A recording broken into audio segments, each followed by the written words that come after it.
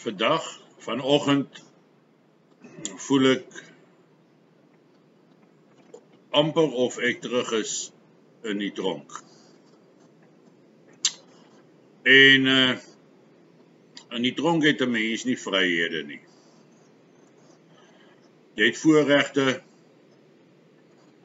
en dit kan gebruik word om van jou weggeneem te word vir straf of enige iets waar op hulle op die oomblik dan besluit. Maar daar is twee goed wat in die tronk nie van jou weggeneem kan word nie.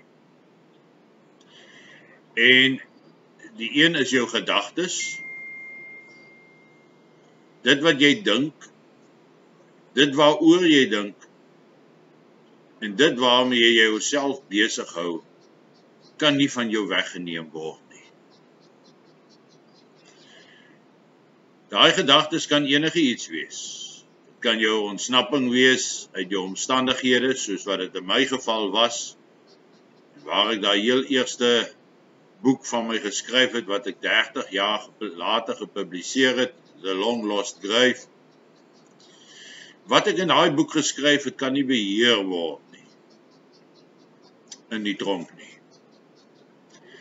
Die ander ding wat hulle nie kan beheer nie is jou geloof. Jou godsdiens. Hoe jy glo en hoe jy aanbid. En dit is baie belangrik. Ek het nooit gerook nie. En die feit dat die kibane elke aand vir my 'n pakkie sigarette gegee het, het gemaak dat ek rook. En toe ek nou 'n goeie verslaafde is, toe vat hulle die sigarette weg. Ek dink in 'n baie groot mate is dit hoe die rokers in Suid-Afrika vanoggend voel. 'n Voorreg is weer van hulle af weggeneem. Goeiemôre. Dag 35 van die staat van nasionale inperking. Môre 1 Mei was ons veronderstel om na vlak 4 te beweeg en in hierdie beweging na vlak 4 was vir my twee positiefes.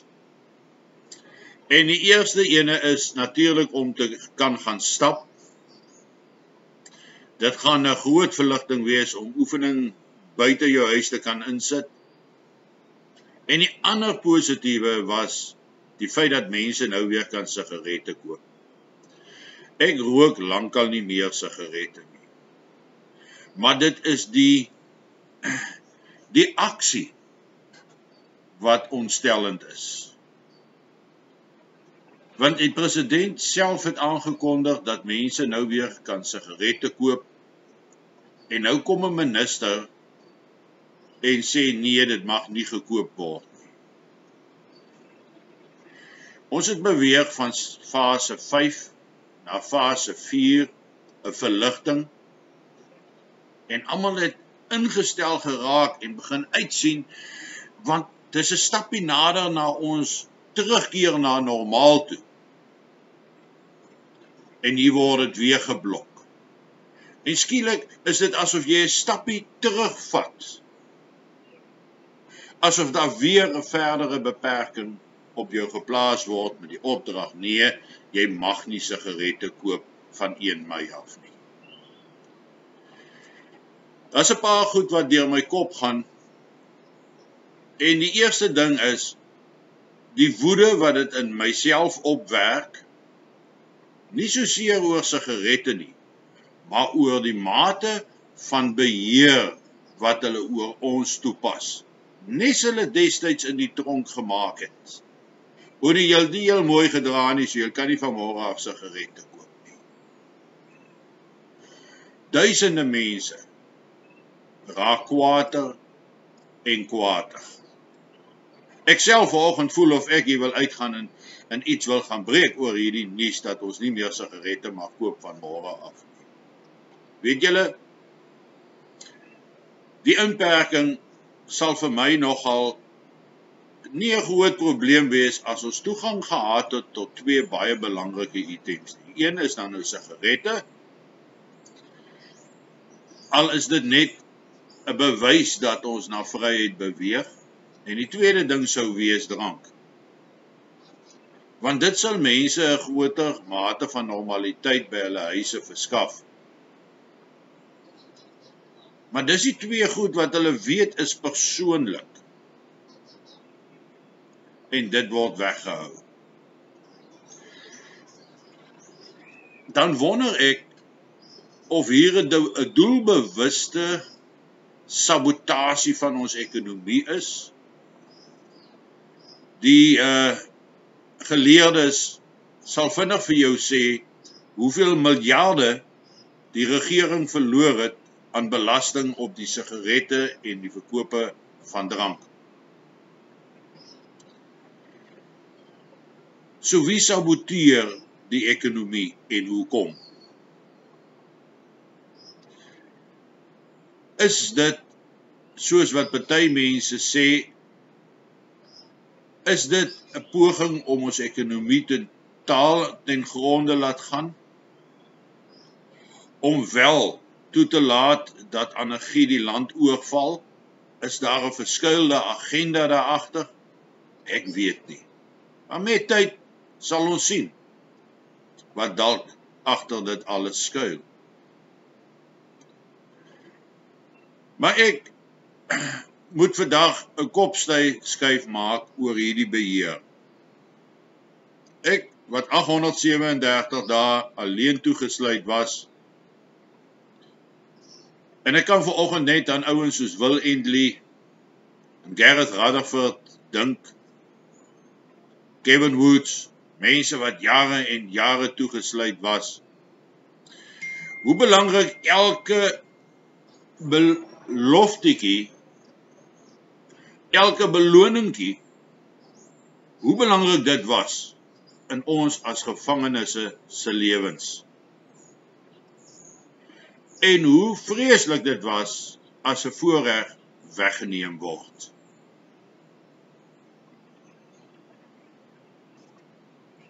Ek dink ons is 'n paar stappies nader aan die uitbreek van energie.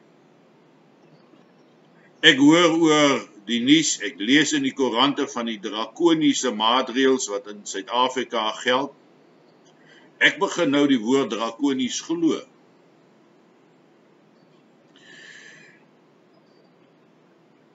Dis asof daar geen verdere visie is nie. Dis asof daar geen insig is oor wat mag vorentoe gebeur nie.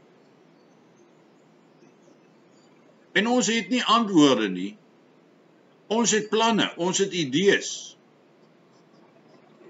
Dan is dit vir my nog skokkend as jy aangeval word deur individue of deur mense wat se planne nie met joune saamstem nie of as jou plan nie met hulle plan saamstem nie is jou plan sleg. Ek dink ons beweeg nader na die tyd waar dit minder en minder gaan oor individuele gedagtes en idees en planne. Hoe meer en meer hierdie staat van inperking aanhou, hoe meer en meer besef ons maar ons is in dieselfde bootjie. Ons gaan dieselfde gevare in die gesig staar as die land tot die vlak van energie sou daal. Ek sê moenie laat ons op hierdie laat stadium van die potensiële bedreiging mekaar aanvat oor wie se plan is die beste nie. Ek sê bloot jy moet 'n plan hê vir wanneer energie wel sou uitbreek. Jy moet 'n plan hê. Kyk na almal se planne en besluit vir jouself watter plan pas jou die beste om te kan oorleef in hierdie moeilike tye wat voor ons lê. Ek het my keuse gemaak. Ek het my keuse gebaseer op 'n werkbare opsie. Omdat ek oor verloop van jare terwyl ek in die Kongo geboor het en teruggekom het Suid-Afrika toe het ek gesien hoe die situasie die konflik potensiaal verhoog het in Suid-Afrika. Maar ons vat mekaar nog aan. Ons trap mekaar nog uit. Ons vat mekaar aan oor hoe ons ons godsdiens beoefen. Aan enige ou of enige persoon is vry om te sê dat hoe ek my godsdiens hanteer is verkeerd. Hy kan dit sê. Maar op die ou einde is dit ek wat daaroor moet besluit of dit reg is en of dit verkeerd was. Maar ek het 837 dae net met my God as geselskap in 'n tronk gesit. En dan vra jy alle vrae. En jy leer om anders daaroor te dink. So voor jy vir my sê ek aanbid die verkeerde God, gaan sit eers vir 837 dae alleen saam met hom. Maar vir baie mense is dit belangrik om te weet hoe aanbid ons God want dit gaan die verskil maak. Mense, kom ons bære die kleinlikhede vir 'n wyle. Kom ons oorleef hierdie krisis, hierdie situasie wat ons in die gesig staar. En wat pas weer vererger is met die aankondiging dat mense nie sigarette mag koop nie. Hierdie stappie terug vat ons 'n stappie nader aan totale geweld in Suid-Afrika. Ek het gister gesê ons moet eers oorleef. Ons moet uit hierdie situasie uitkom. Vandag bepleit ek mense kom ons vergeet van ons verskille. Kom ons vergeet daarvan of ons nou Engels en of ons Afrikaans is.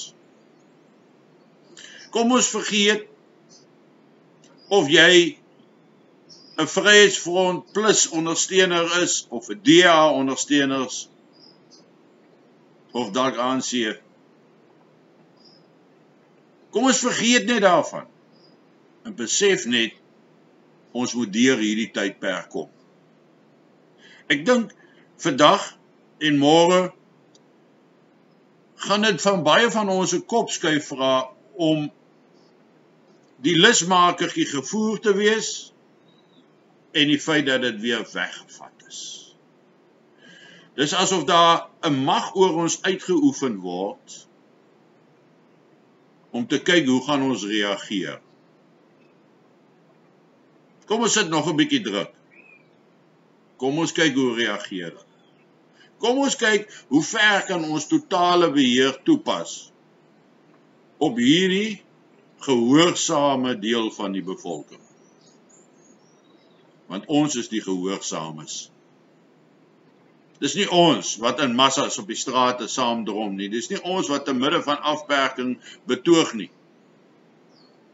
Dis nie ons wat te midde van 'n slegte ekonomiese of finansiële situasie winkelstorm loop en besteel nie.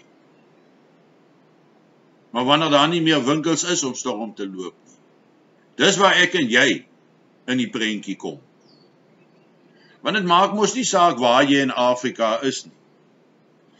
In Afrika is daar 'n persepsie dat as jy wit is, het jy geld. Ons sien dit nou in Suid-Afrika waar geen hulp vir blanke maatskappye en vir individuele blankes gegee word. Want hulle het mos geld. So as daar nie meer winkelsentrums is om te beroof nie. Nie meer spaarse shops om te beroof nie. Waarheen gaan hulle kom? Hulle gaan vir my en jou kom. Dink mooi. Hou hierdie dinge in jou agterkop. Maar onthou jou geloof. En wat beteken geloof? Geloof is om te glo in dit wat jy hoop. Geloof is om te glo in dit wat jy hoop. En as jy hoop op uitkoms, as jou hoop in God geplaas is op uitkoms, dan moet jy ook glo dat jy sodanig gelei sal word om die regte besluite op die regte tyd te doen.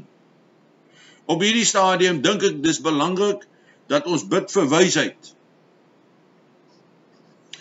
Dat ons 'n klein insaag kan kry dalk in die pad vorentoe. En waarheen ons daar daarvandaan moet beweeg. Mense boven alles moet ons goeie moed hou. Moet ons die morele hoë grond handhaaf deur te doen wat is reg.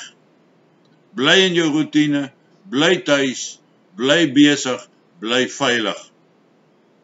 Geniet jou kondensmelk koffie en een van hierdie oggende gaan ons dalk oor 'n paar verskillende opsies oor wat ons kan doen en wat ons te doen kan sta of oplossings wat ons in die gesig staar sal ons dan bespreek. Intussen gaan teken in, gaan teken aan op my uh YouTube kanaal, gaan like dit want dit is belangrik. En vir die van julle wat daai boek wil bestel wat ek in die tronk geskryf het of enige van die ander boeke, kontak vir Francis by Missies Francis de Tooi, met ander woorde MRSFDT. Afkorting vir Missies Francis de Tooi @gmail.com. Lekker dag. Wakker loop. Oop kop.